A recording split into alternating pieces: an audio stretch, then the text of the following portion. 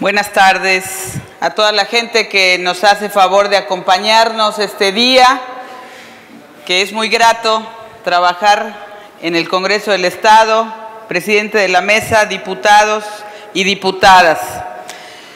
Este gobierno se encamina a una nueva etapa.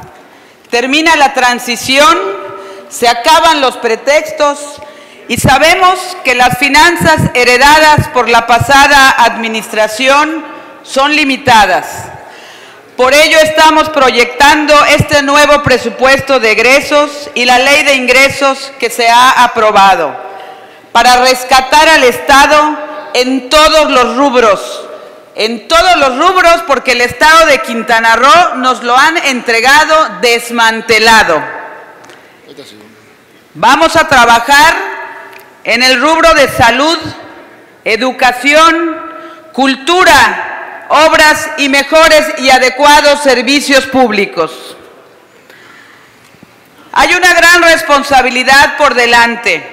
Seremos vigilantes de la aplicación de los recursos.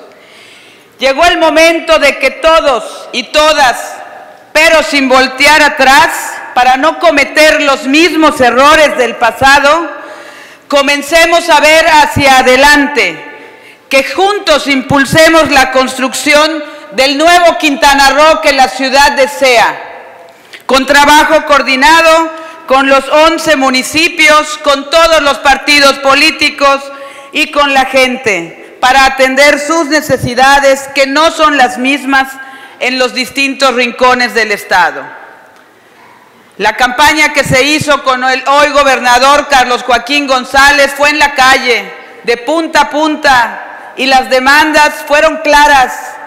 Gobernador, está el Estado saqueado. No hay salud, no hay educación, no hay seguridad, no hay nada.